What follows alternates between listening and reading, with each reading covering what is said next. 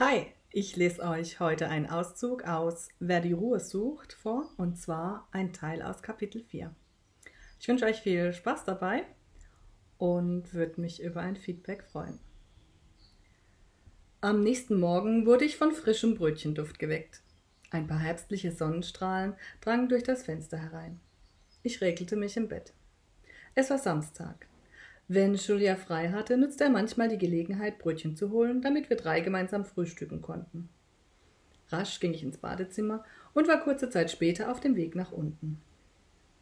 Doch da ich sehr neugierig war, hielt ich in der Mitte der Treppe kurz an und lauschte, was die beiden zu bereden hatten, während sie das Frühstück vorbereiteten. Ich konnte nur Bruchteile verstehen, es ging um irgendein Videospiel. Gerade als ich weiterlaufen wollte, bekam ich einen kräftigen Stoß von hinten. Das kam unerwartet und hart. Mein großes Glück war, dass ich mit einer Hand am Geländer war. Ansonsten wäre ich die komplette Treppe hinuntergesegelt. Ich hing ungeschickt am Geländer und, und fiel ein paar Stufen hinab. Julien und Milo rannten zu mir und sahen mich besorgt an. Julien rief Milo zu. Hol bitte schnell meinen Koffer aus dem Arbeitszimmer. Milo nickte und all das geschah in Zeitlupe. Mir wurde schwarz vor Augen. Als ich wieder zu mir kam, lag ich im Krankenhaus. Julien stand neben mir in seinem weißen Kittel, die Hände auf dem Rücken gefaltet. Was ist passiert? fragte ich. Du bist die Treppe runtergefallen. Wie oft hab ich dir gesagt, dass du Hausschuhe und nicht Strümpfe anziehen sollst? Herrgott nochmal, wie so ein törichtes Kleinkind. Auch das war Julien. Lief es mal nicht nach seinem Kopf, packte ihn die Wut und seine Kommentare gingen unter die Gürtellinie. Wo ist Milo? Bei Cedric. Du hast uns einen Riesenschreck eingejagt, weißt du das? Meine Erinnerung kam wieder und mir fiel ein, dass ich nicht gefallen, sondern gestoßen wurde. Julia, mich hat jemand gestoßen, ich bin nicht gefallen, sagte ich, und in dem Moment war mir klar, dass er mir nicht glaubte, dass ein dummer Kommentar kommen würde, und das tat es auch. Na klar, dich hat jemand gestoßen. Vielleicht solltest du abends einfach nicht mehr so viel saufen? Mit diesen Worten verschwand er. Mein Schädel brummte und mein Arm tat weh. Er leuchtete in allen Farben. Aber gebrochen war er nicht. Ich hatte keinen Gips. Julien kam noch einmal rein, sagte mir, dass ich über Nacht bleiben müsste, um eine Gehirnerschütterung auszuschließen. Er würde nach Hause gehen, um sich um Milo zu kümmern.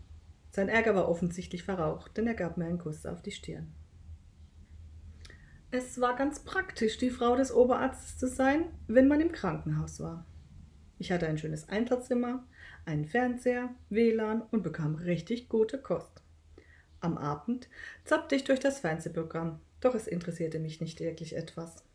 Lesen wollte ich auch nicht, auch wenn mir die nette Krankenschwester eine Auswahl an Zeitschriften gebracht hatte. Ich dachte mir, wenn ich früher schlafe, war es gefühlt früher morgen und ich konnte wieder heim. Kopfschmerzen hatte ich keine, auch kein Schwindelgefühl. Eine Schwester kontrollierte meine Temperatur und erkundigte sich nach meinem Befinden. Als ich gerade am Einschlummern war, öffnete sich die Tür zu meinem Krankenzimmer erneut. Mittlerweile war ich genervt von den vielen Erkundigungen nach meinem Befinden. Ich hatte das Gefühl, dass die Schwestern sich erhofften, ich lege ein gutes Wort für sie bei Julien ein. Doch als ich zur Tür sah, stand da ein Mädchen. Vielleicht so alt wie Milo oder ein, zwei Jahre jünger. Ich setzte mich im Bett auf und sah sie an. Ihr Blick war leer und irgendwie sah sie blass aus. Kein Wunder, offensichtlich war sie ja auch Patientin. Ich sprach sie an. Hallo, hast du dich verlaufen?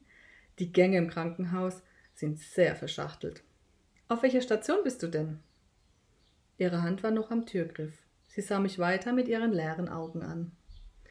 Ich vermutete, dass sie starke Medikamente bekam. Aber, das, aber was machte sie dann auf den Beinen? Gerade als ich sie nochmal etwas fragen wollte, sagte sie, das war nur eine Warnung. Sag ihm das. Mit einem lauten Knall fiel die Tür ins Schloss. Ich hoffe, euch hat's gefallen. Das Buch gibt's überall, wo es E-Books gibt. Ich mache in die Kommentare noch einen Link und freue mich, wenn ihr mir ein Feedback gebt.